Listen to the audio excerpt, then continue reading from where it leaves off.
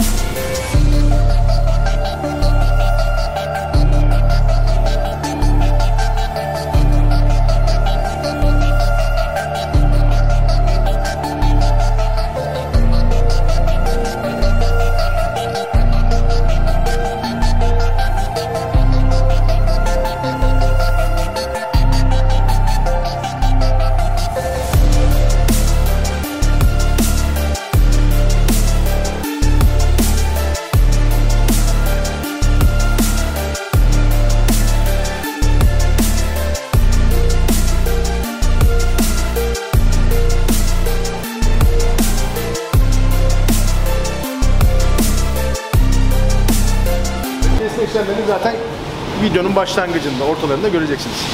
Bize dedi ki bunları koyalım. Tamam koyalım. İşte arka tampon, ön tampon, ön tampon, ön şeyler de M'di. Ee, yani bir şeyleri başlatmış ama tek kapı kupeyken M3 görünümüne sahip olacak. E46 M3 olacak. İki tane çamurluk diye geldi. Çamurluklardan başladık. Öne doğru geldik. Bu süreçlerde oralar oralar boyanıyor. Bari daha önceden geçmişinden de ufak tefek işlemleri var. Güzelleştirelim, dalgalarını alalım. Dalga sürecinde de yani güzel, bize göre ip gibi diyelim ama bazı insanlar beğenir beğenmez. Çünkü vay işte orijinali gibi olmaz diyecek olanlar da vardır. Ben facelift olayına karşı değilim, severim. Ki performans kanalında çok göreceksiniz bunları. Ee, cici bir şeyler çıkartacağız. Ne yapalım orijinaline paramız yetmiyor. Bunlarla oynayacağız işte. Selman bir tane dört kapı görmüş, çok beğenmiş. Oradan heves etmiş. Tamponlarla ilgili problemimiz olmuştu da arka tamponu bize gösterir misin? Orijinal emiş tampon nasıl duruyor? Tampon E, ayarları. Eski, eski tamponda buradan düz geliyor haliyle. E, burası böyle uzayamıyordu. Buna çıkma böyle bulundu. Şu anda güzel ağız ağza gelecek şekilde ayarlanıyor. Peki tamponlar da orijinal emiş mi? Orijinal. Bak bak gel gel gel. Fabrika etiketi değildir ama sonuçta satan adam da bunu böyle yazmış buraya. E46 M3 Orj. Bu arada orijinal derler ya orijinal değil, orijinal. Yazımı da öyledir, okunuşu da öyledir. Bu arabayla ilgili kaç günlük bir serüvenimiz daha var? Yani biraz bu eee, nasıl söyleyeyim sana yol üzerinde çok değişiklikler olarak hadi bunu da koyalım hadi bunu da koyalım diye gittiği için bir aydır bu araba bizde. Ama her şey hazır olsaydı bir haftalık bir operasyondu bu. Boya hariç. Komple boya girdik diyelim ki tavan hariç iki hafta. Yani Toplamda? süreç iki hafta, iki hafta yani geldi bütün parçalar okey hazır.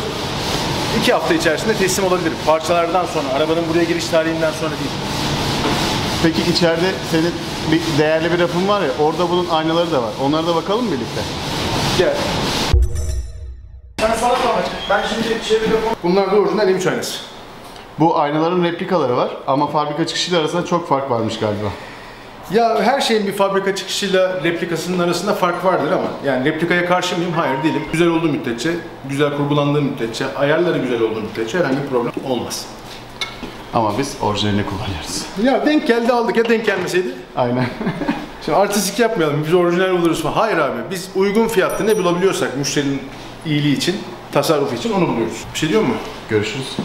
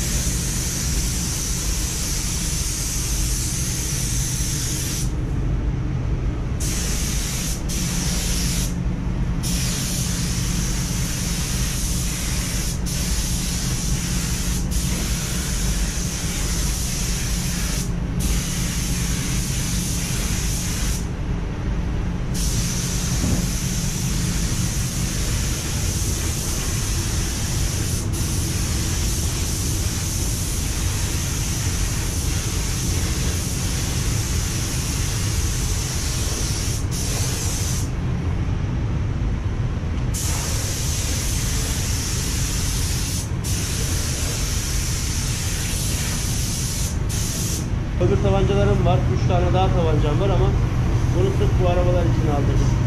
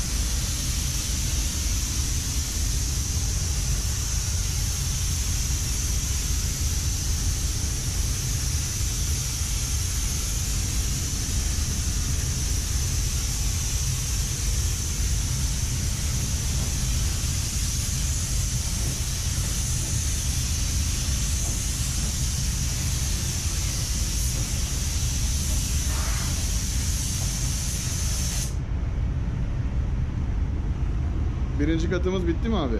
Şimdi tamponlara vuracağım. Bir kat biraz kuruyacak. Bunu bir mumlu bezle sileceğim. Bir kat daha atacağım. Onu da mumlu bezle sileceğim. O da tozlama. Yani duman bir boya atacağız. Ondan sonra derneğe geçeceğiz. Üç kat yapacağız yani. Mecbur. Ondan sonra zımpara, pasta, seramik. Yani. Cam olur mu abi? Bunlar sana kalıyor. Pastacılığa bize, seramik sana.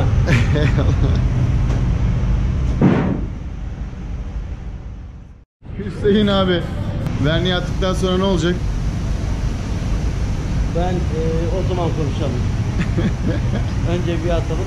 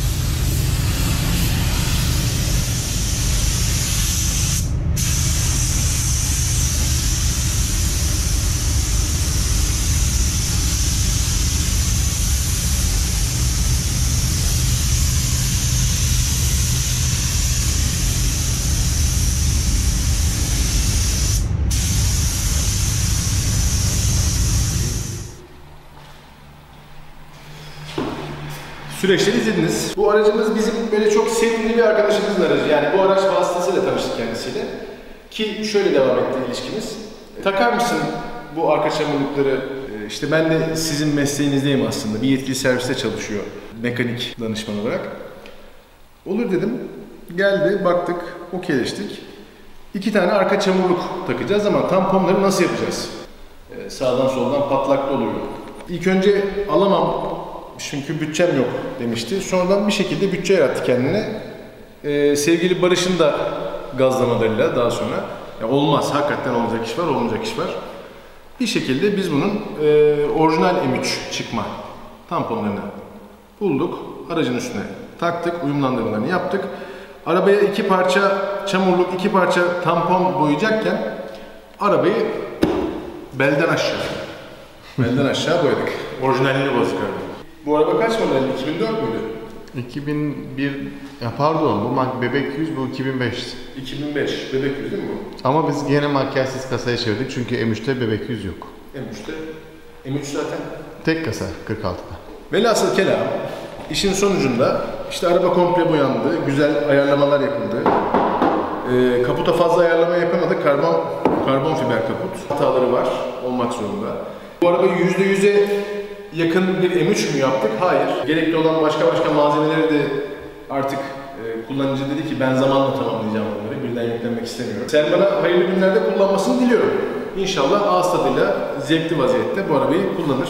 Bugünkü şartlarda hani ben de bir M3 hayali kuruyor olsam M3 alamam. M3'müş gibi gösterip kendi kendime motorundan bahsetmiyorum. Yani oradan vaa onunla M3 olmuyor olmuyor ama yani açar camı bakarım arabama. Onu görürüm orada mutlu olurum. Ben de öyle yapardım onun yerinde olsaydım. Selman motor koymayı düşünüyormuş bu arada. Ya motor koymayı düşünüyor.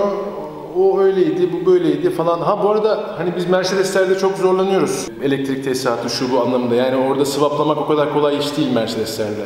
Mesela bizim E34'ü sökerken e, sabahtan başladı. Öğleden sonra arabayı çırılçıplak vaziyette e, kaportaya teslim ettik. Ama bir Mercedes'i komple boyamak için sadece dış yüzeyini sökmek işte e, pakolarını, sunroof camını, ön camını, arka camını, işte tamponlarını, farlarını, stoplarını, aynalarını vesaire e, onlar da neredeyse bir günde ancak oluyor. Yani bir güne bir arabayı komple iç döşeme, torpido, efendime söyleyeyim motor, yürüyen aksam her şeyi ayırıyorsunuz üstünden. Kuru kasa haline getiriyorsunuz BMW'de. Bir gün sürüyor.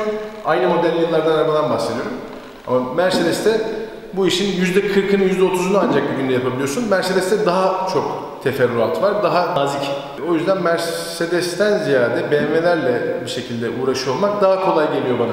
Bana daha kolay geliyor. Benim fikrim ama BMW'lere selam söyle. BMW'lere selam söylüyorum buradan. Bu işte öğreneceğim. Peki abi arabaya tekrar geri dönersek. Arabada birkaç tane eksiğimiz var. Var bir de işte spacer'lar. Egzoz uçları. difüzörümüzü taktık. Bayağı da güzel duruyor arkadan. Ya bir şey söyleyeyim mi? Bir arabanın en güzel yeri bence kalçasıdır. En kıymetli yeri neresi olacak? Bana göre arabanın en güzel yeri kalçalarıdır. Yaklaşalım.